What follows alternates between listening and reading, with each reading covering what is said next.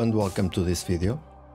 I really like to do these racing documentaries, but there is a reason why there's not a lot of people doing them. They require a lot of work. I decided to do this video because I feel that most people do not understand the amount of work that is behind these videos, that I would call racing documentaries. Most people nowadays simply use the internet and that is why we have such bad journalism everywhere. They all copy each other and don't do their work.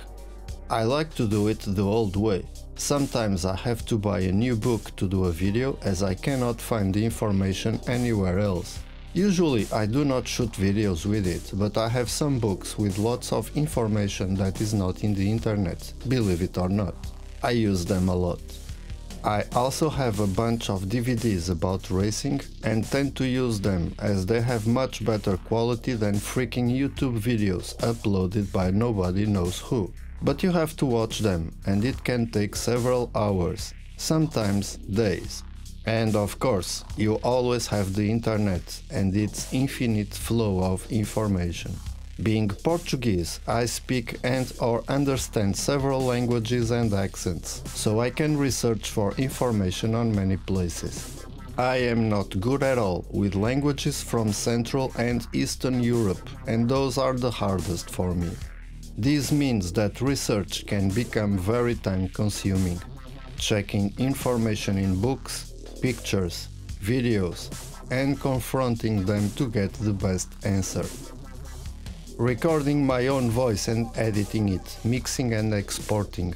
I have to hear my voice a lot. I hate to use my own voice and I try to convince myself that it is someone else's voice, so I won't go mad. I am not very good with voicing or singing, so I record a lot, and I mean a lot.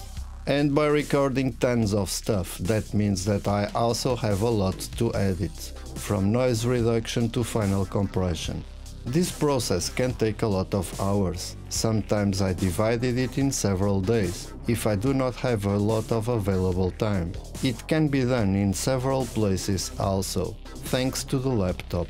Remember, this is just for the voice. Then there's music, sound effects, etc. I could use AI to do this voicing part, but it is not the same.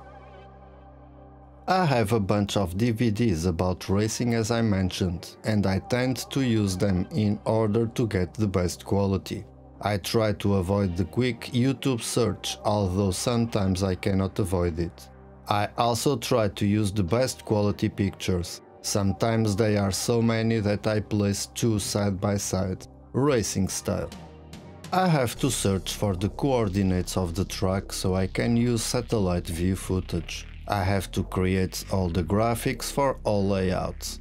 I hate when I have so much footage about a certain part and almost nothing on others. Sometimes you see a series of racing posters because of that. Following a chronological order is not always possible. I have my style of editing and as always, some people like it, some people don't. I have two jobs among other occupations like doing these videos, and that means that time is not on my side. Obviously, it is always nice when you see your work rewarded, but I don't do them for the money or for the glory. I do it because I like it. And many people watch my videos but are not subscribers. Lots of them. I confess that sometimes I look at those counts and I don't feel any kind of motivation to keep wasting my time on these videos. I prefer to make a drink and watch the latest news on the Ukraine war and view the brave Ukrainians dropping grenades from drones on the Russian invaders using the money I donated to them. And this is it. I hope you enjoyed this video. If you did, give it a like, share it with your friends, leave a line in the comments section if you have something to say or ask, and subscribe for more videos like this. I see you in the next video. Take care!